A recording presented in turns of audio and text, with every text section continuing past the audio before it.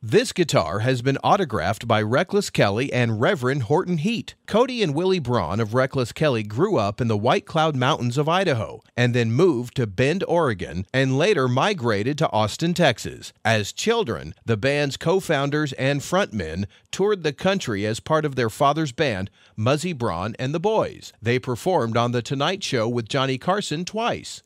Early on, Robert Earl Keen, a Texas legend himself, took them under his wing and became their first manager. In 1998, Reckless Kelly released their debut album, Millican. Reckless Kelly's string of critically acclaimed albums include Under the Table and Above the Sun, Wicked Twisted Road, Bulletproof, Somewhere in Time, Grammy nominated Good Luck and True Love, and Grammy winning Long Night Moon. The group released their album Sunset Motel in 2016 and released their latest full length albums, American Jackpot and American Girls, in 2020. The Reverend Horton Heat is perhaps the most popular psychobilly artist of all time. The Reverend was born James C. Heath in Corpus Christi, Texas. Growing up, he played in local rock cover bands around the area, but was more influenced by Sun Records rockabilly, electric Chicago blues, and country mavericks like Junior Brown, Willie Nelson, and Merle Travis. The band built a strong following during the 1990s